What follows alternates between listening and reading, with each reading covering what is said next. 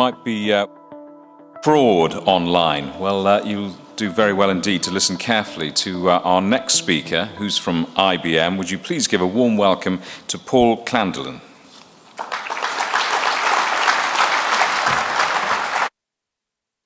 Thank you very much. And uh, first, for let me reassure you, there will be no tests of your numeracy during my presentation.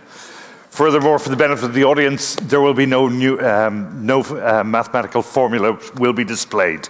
You'll all be pleased to know, I, am sure. I work in the same area as, as James um, from We Predict around analytics and around the use of big data.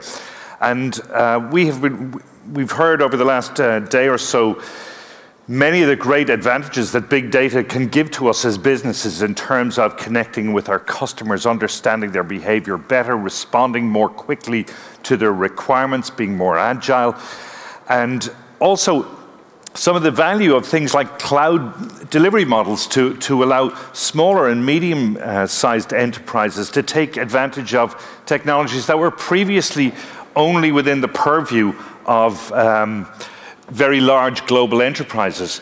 So we can see how the, the changes in, in information technology that have taken place over the last couple of years are really broadening the scope of the possibilities available to you as business people to, to really optimize your businesses. However, the ugly sister of big data and analytics are cybersecurity and fraud. And one of the things that we, as a technology company who've been interested in cybersecurity for many years, one of the things we've noticed grow considerably over the last number of years has been the incidence of fraud and financial crime. And many of you will be familiar with the kinds of things you've seen happen online and the kind of scams you've seen. Uh, some of the Nigerian scams, for example, are very obvious, uh, but a lot of things are much more subtle. Some of the, the, the, the findings and learnings that I'm going to talk to you about today might seem as if they apply only to large enterprises. I would warn you all, however, that over time, large enterprises are going to wise up. They're wising up already because of the huge cost, potential cost of, of fraud. And the fraudsters are going to move to the next available targets. And I would suggest to those of you in medium enterprises across all industries, you are probably the next available targets. Um, so a little bit about fraud in the evolving fi financial crime landscape, and then maybe uh, some, some consideration of what's a smarter approach to addressing fraud across the enterprise. Um, First thing I would say to you is, is, let's get our terms straight. I mean, fraud is a, is a de deliberate deception or misrepresentation which is intended to produce financial gain and is a crime. But there are, there are related examples. For example, James described the issue with the, um, the, the uh, car maintenance uh, companies in um, Montreal, where they were, that is effectively not a crime, it's abuse. But it's actually a very similar pattern. Same types of predictive analytics can be used to, to detect it. I'd also point you to financial crime. Uh, financial crime is not a very um, uh, hot topic. It tends to be quite an arcane one in that it really refers to money laundering. Now, why is money laundering important to us all in this room? Money laundering is the process of transmitting criminal funds across the money transmission networks. And what we're trying to do is to interrupt the flow of funding to terrorist groups, to drug cartels, to human traffickers. So there's a massive societal good involved in addressing money laundering. The interesting thing about money laundering is, however, the large organizations who are involved in these networks, it's not necessarily within their immediate financial interest to, to address them. Consequently, it's become the, the reign of, um, it's become the domain, if you like, of the regulator to, to design and enforce protocols to stop them happening, stop this happening. I would um, however, say to you that fraudsters are money launderers and money launderers are fraudsters. So the two are very tightly interlinked. We also see threat. We see uh, threat is more related to political gains. So when you see things like the cyber attacks that took, took place in Estonia a couple of years ago, some of the, um, the hacking attacks we've seen come out of um, government agencies in China, that's an example of the kind of threat. And finally, then there's the risk associated with the losses around operational security, financial losses, IT and security risks. The interesting thing, however, I'd like to point to about this, this chart is that over the last number of years, there's been a major change in how fraud is perpetrated online. And the major change is this. Previously, fraud was opportunistic and individualistic. So we saw employee fraud, for example, where somebody would falsify their expenses or somebody would um, uh, raise false invoices with um, suppliers, for example. We've seen provider fraud where, in healthcare provider situations, doctors might overbill, for example, for treatments that were never provided. So we've seen evidence of that around the NHS, for example. We've seen individual fraud where people overstate claims. And these all still go on, but what we have noticed over the last number of year, years, of the last five years, is that fraud is now increasingly collusive. And it's increasingly, increasingly it is the domain of organized crime. Uh, about 80% of fraud is collusive, and collusive fraud is much more complex to identify and to interrupt.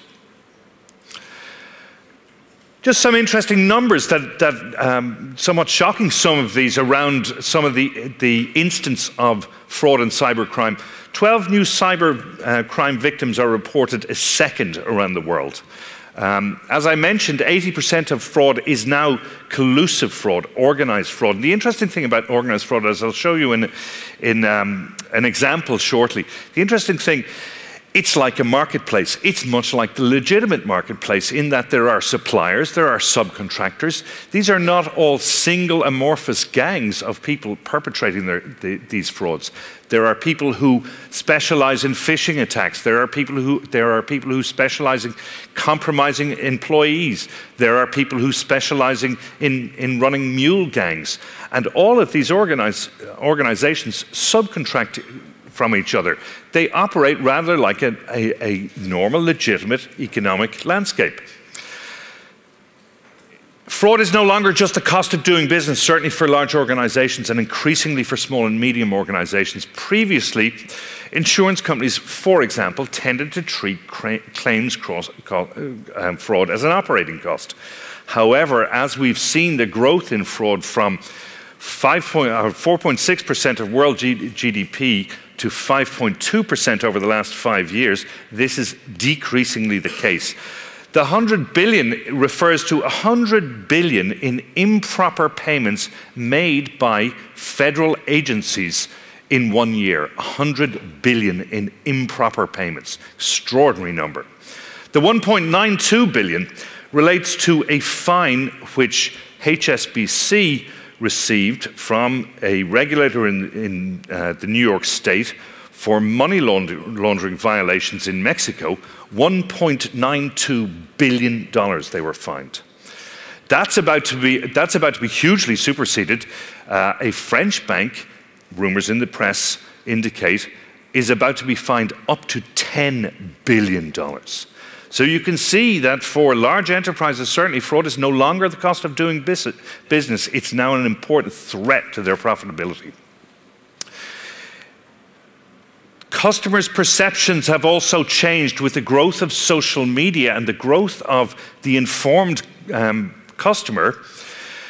You must increasingly be aware of their propensity to change supplier if they lose trust in your ability to protect their data. One major US retailer had a, had a uh, data breach before Christmas. 100 million credit card numbers were stolen. That retailer suffered a drop of 45% in its brand perception in index over a weekend. Now, for anybody here who works in marketing, that is truly horrifying. Finally, 71% of customers have indicated in surveys that they would be willing to change their bank, their primary source of banking, if that bank were the subject of a data breach. So these are now serious problems for large companies and becoming increasingly so for smaller companies as well. When I talk about collusive fraud, let me explain to you, let me give you an example of the kind of networks that are operating here. Many of you will have heard of prepaid debit cards. Prepaid debit cards, a new form of payment whereby you can have a little rather like a, a traditional plastic debit card, uh, but you load it with money and you can only spend the money you loaded on.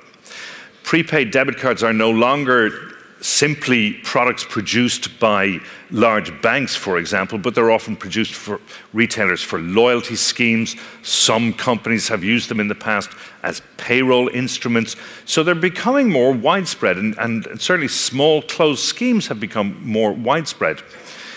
Well, in a particular instance, a small bank in the Middle East wanted to produce a prepaid card which they would use for the local population as a debit, debit instrument to, to reduce the need to carry cash for minor transactions. So there were strict limits on these cards in terms of how much could be loaded on them, how much, how, um, the maximum size of transactions, etc. But hackers breached the internal security of the bank in question and in fact, we often think that hackers, when they breach internal security, they've done some very sophisticated attack on the external defenses of the organization. In fact, in this instance, they just compromised an employee. Um, and when you see the kind of profits of, uh, that, that people make from these schemes, you can see how easily it can be to breach your defenses in very old fashioned ways.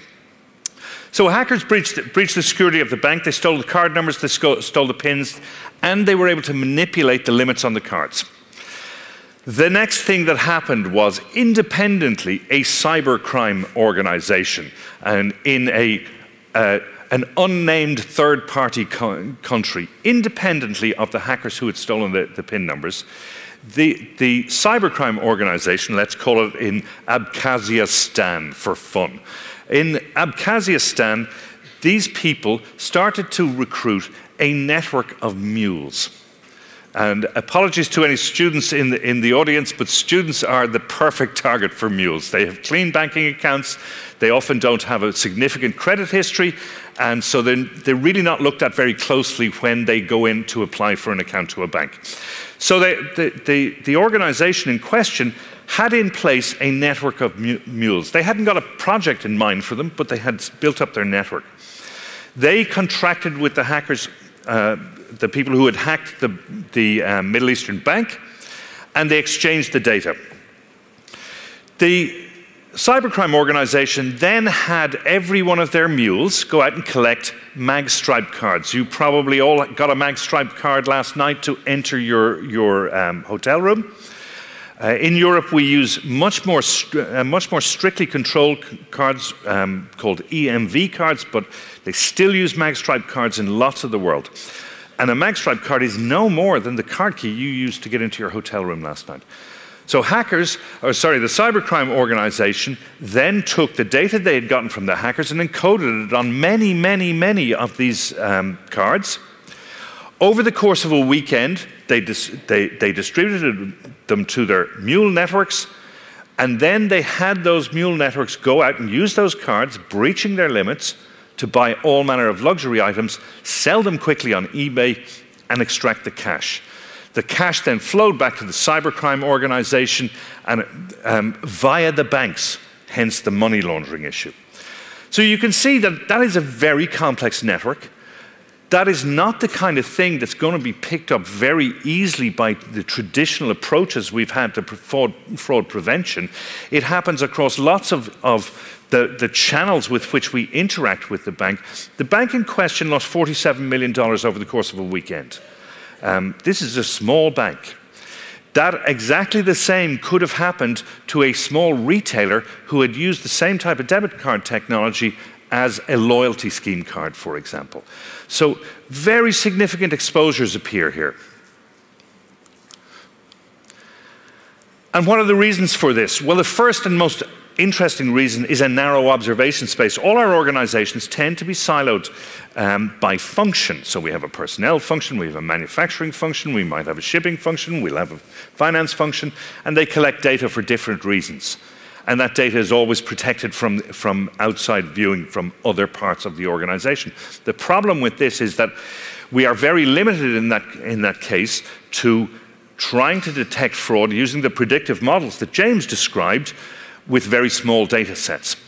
the reality is there's much more data uh, out there. One of the th interesting things that we in IBM did as we started to develop our thinking around this whole area was we went to the intelligence services and we asked them how did they use this type of technology for understanding behavioral patterns.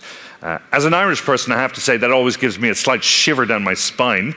Um, so it was quite fun talking to MI, MI5 and MI6 about this. But the thing that they introduced us to was the, the, the idea of deep context.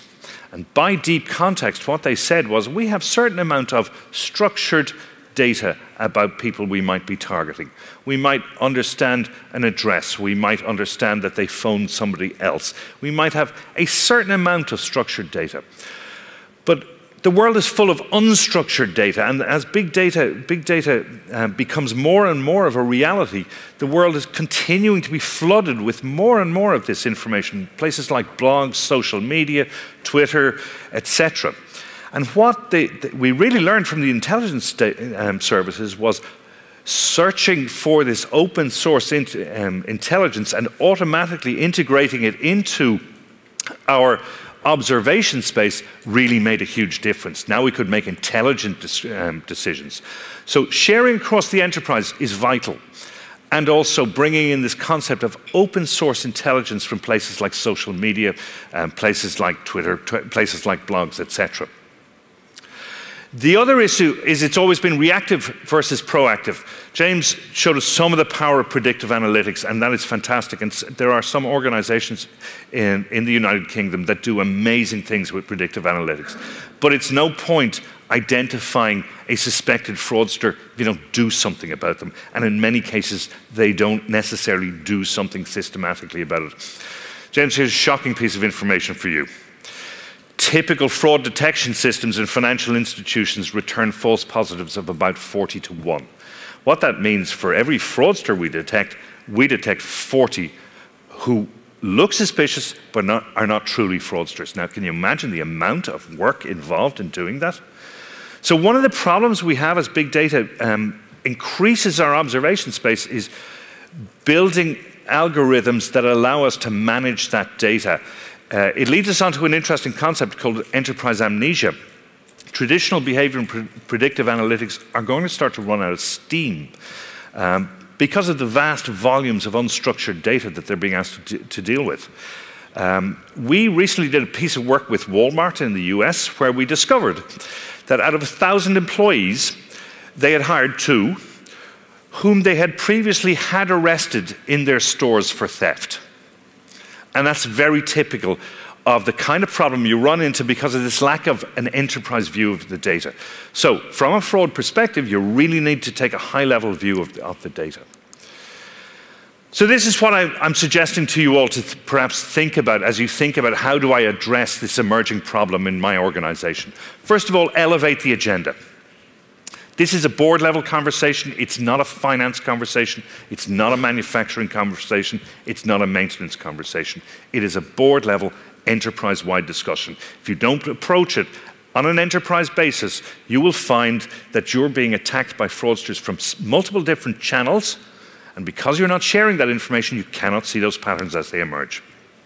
The second is act with insight superiority. And by that I mean, use the best available predictive analytics, the best available um, behavioral analytics, the kind of thing that, that We Predict build to identify suspicious transactions, but to identify them with sufficient confidence um, that you don't have these massive false positives rates you can never deal with.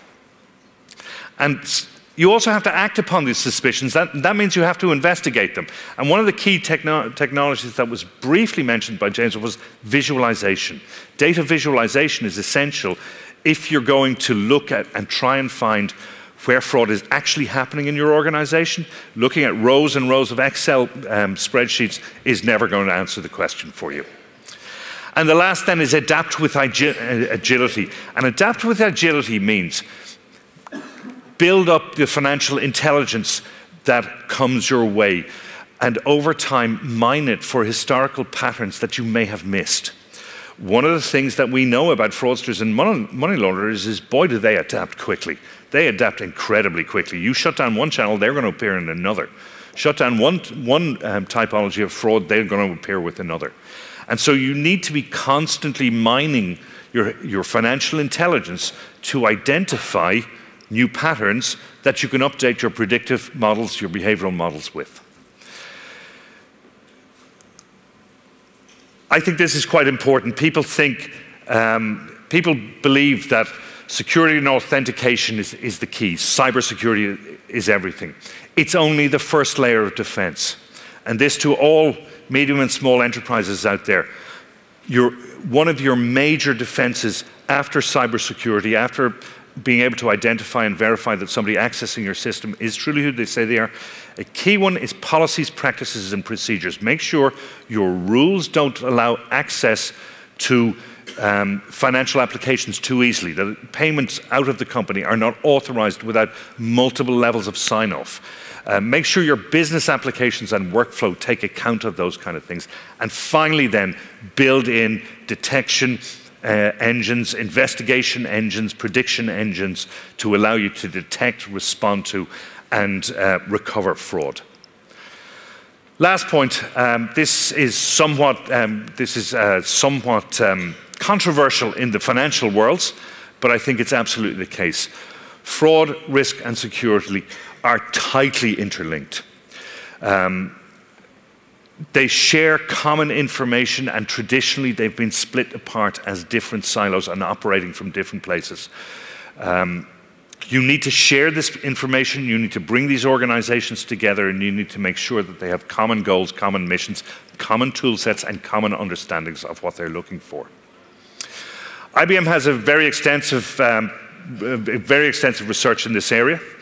I would direct you, if you're interested in, in finding out more about what are the emerging threats, um, both in fraud and um, in cybersecurity, that you go to the IBM Web Force. There are two organizations in which you might be interested. The first, and I do apologize for the sub Tom Clancy nomenclature, the first is called Red Cell. And Red Cell is a small organization that, that, that, that constantly uh, examines emerging fraud threats across all industries. So it's a free source of research to see what might be, might, might be emerging and what you might need to respond to. And the second is X-Force, and X-Force does a similar job around cybersecurity, identification and verification, and emerging threats in that area. So if you're interested in understanding what are the trends, those are two sources of in intelligence to which I direct you immediately. And at that point, I'd say thank you very much for your time and your attention. Please do feel free to get the, uh, the charts. If there's something you'd like to follow up, please feel free to contact me directly yourself. Thank you, everybody.